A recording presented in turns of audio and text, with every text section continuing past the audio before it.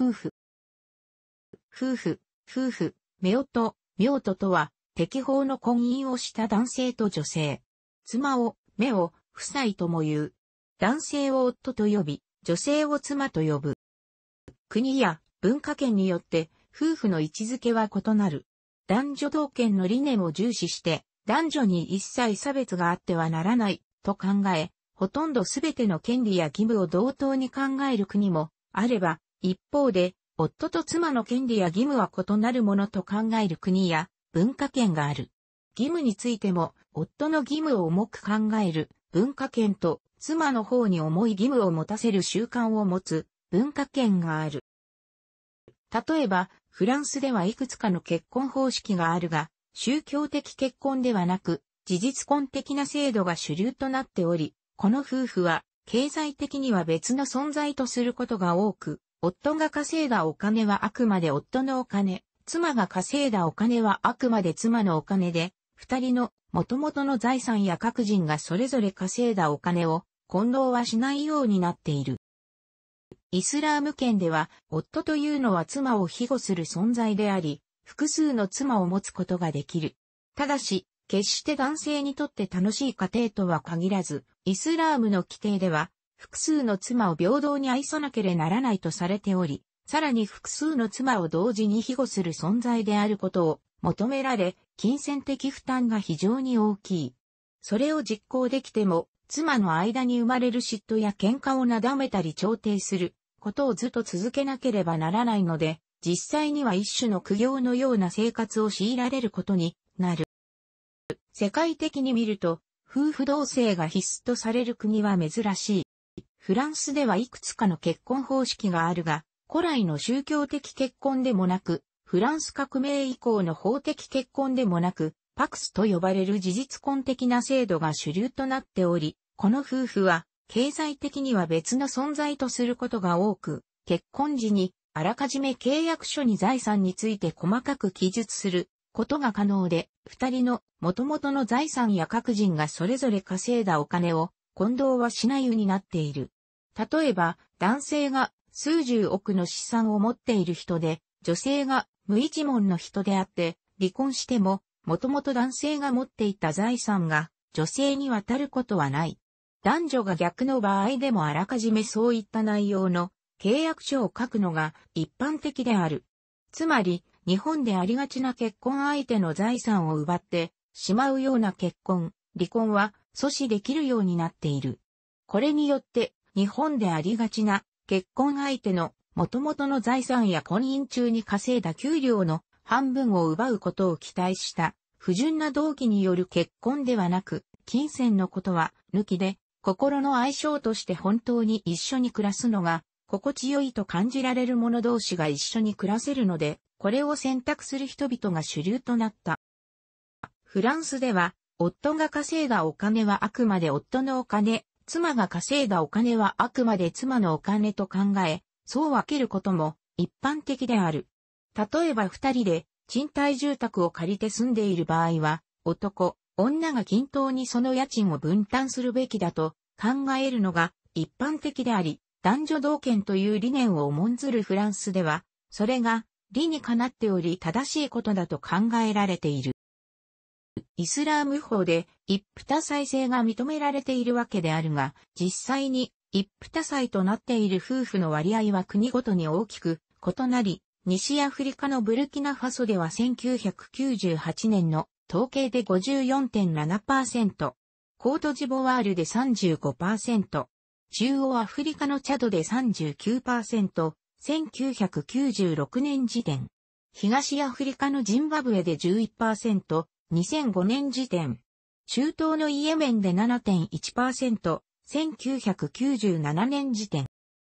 イスラーム圏では男性は40歳程度になると、働くこと、働いて生活費を稼ぐことは、妻に任せてしまう国が多々ある。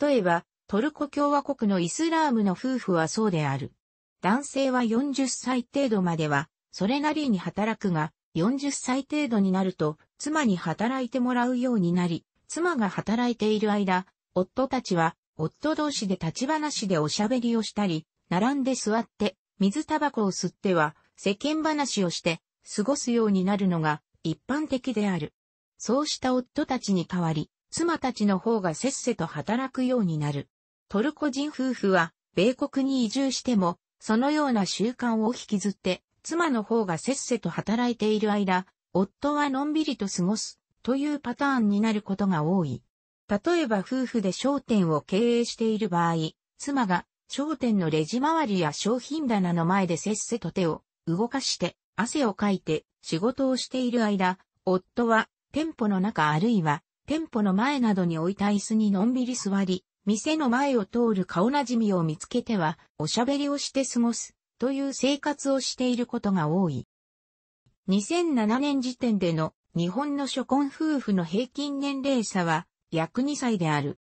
日本の民法の752条では、夫婦は同居し、互いに協力し扶助しなければならないとあり、夫婦は同居、協力、扶助の3つの義務を履行しなくてはならないことになっている。夫婦共同生活が維持できなくなることを、人や意思を持って3つの義務を正当な理由なく、故意に履行しないことを、悪意の域という。例えば、相手方を置き去りにして、住居を飛び出す行為、相手方を追い出す行為、病気にかかった相手方を長期間放置する行為、家に生活費を入れない行為などが悪意の域に該当する。可能性がある。職務上の単身赴任、夫婦関係を見直す冷却期間としての合意の上での別居、子供の病気療養のための別居、ドメスティックバイオレンスから逃れるための別居など、正当な理由があって同居できない場合は、悪意の域には該当しない。悪意の域に基づくものであれば、民法違反になり、それが継続して修復困難とみなされれば正当な離婚理由となる。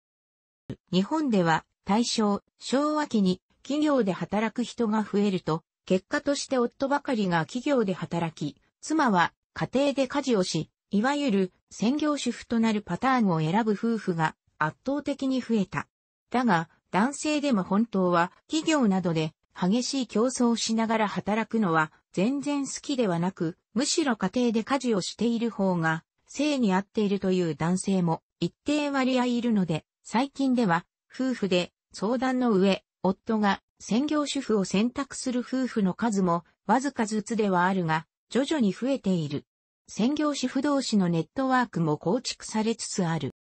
また、民法750条では、夫婦は婚姻の際に定めるところに従い、夫または妻の死を称すると定め、夫婦が異なる死を持つことができない。日本では女性が家庭外で仕事をする率が増えるにつれ、結婚前の性、イコールいわゆる、旧姓を通称として引き続き利用する人が増えてきた。選択的夫婦別姓制度導入を求める女性も増え、国会でも議論されたが、そうした制度を導入している国は少なく、そうした珍しい先進的な制度を導入した場合に、子供がどのように片方の性を選択するのか、その心理的な負担をどう解決するのか、子供の福祉をどう考えるのか、という大きな問題があり、話はほとんど進まなくなった。株式会社結婚情報センターが2008年に660人に対しアンケート調査を行ったところ、夫婦喧嘩をしないと答えた夫婦はわずか10%であり、つまり90%が夫婦喧嘩をしており、毎日夫婦喧嘩をするが2.3%、週に1から2回夫婦喧嘩するが16.2%であった。楽しくご覧になりましたら、購読と良いです。クリックしてください。